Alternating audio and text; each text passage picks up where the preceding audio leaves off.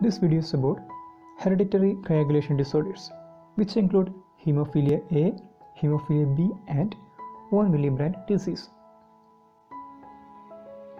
Hemophilia. The three common hereditary disorders are hemophilia A, which is due to deficiency of factor 8, then hemophilia B, which is due to deficiency of factor 9, and the von Willebrand disease is due to deficiency of von Willebrand factor. Hemophilia are X-linked recessive disorders. Here the males are affected and the females are carriers. Then about mode of inheritance of hemophilia A. We know that it is X-linked recessive disease. The genes for factor 8 are located on long arm of X chromosome. And the males with defective or mutant factor 8 gene on their X chromosome suffer from hemophilia.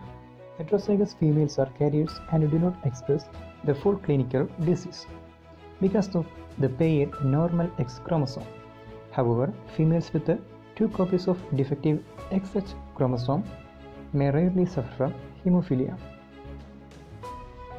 Here the males are suffers and females are carriers.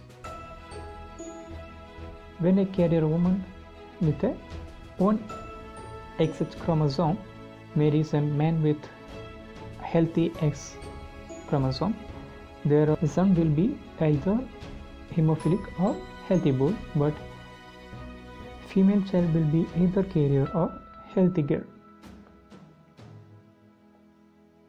Then the molecular genetics.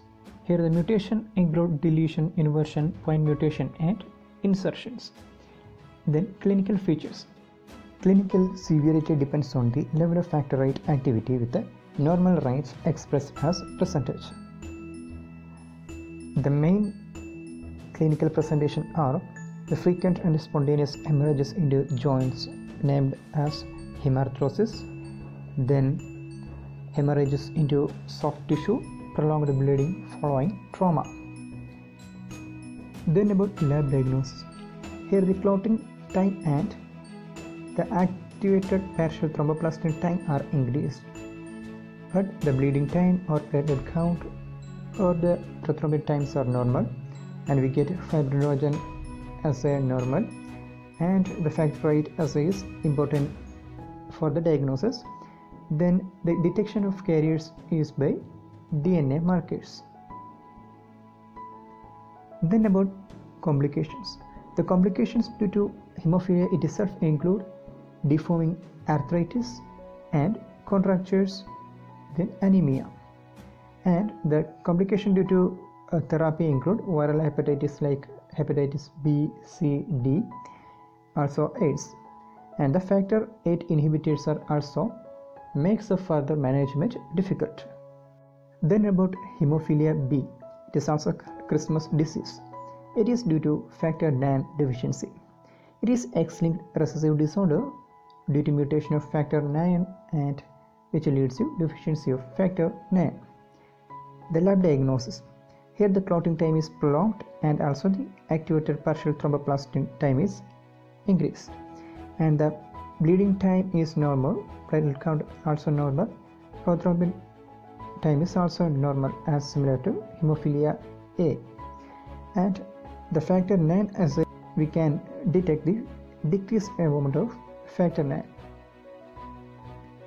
Then about von Willebrand factor deficiency disease. this autosomal dominant disorder caused by mutation in von Willebrand factor. The categories. It is categorized into two, which include the quantitative deficiency of von Willebrand factor. Here, the decreased circulating von Willebrand factor is observed.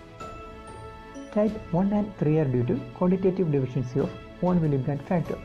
In type 1, it is autosomal dominant and mild disorder and form about 75% of all cases. And type 3 is autosomal recessive, it is severe disorder and a least common type.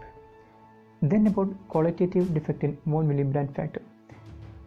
Here type 2 is only included, is autosomal dominant and it accounts for 25% with several subtypes. Then about clinical features. It includes mild bleeding, spontaneous bleeding from mucous membrane like epistaxis, then excessive bleeding from wound or menorrhagia. Then about lab diagnosis. Here bleeding time is prolonged, clotting time is long, but platelet count remains normal. And in tourniquet test we get positive result and the activated partial thromboplastin time is increased but the prothrombin time is normal and in von Willebrand assay we detect decreased von Willebrand factor. Then platelet function test. Defective ristocetin induced platelet aggregation test is diagnostic for von Willebrand factor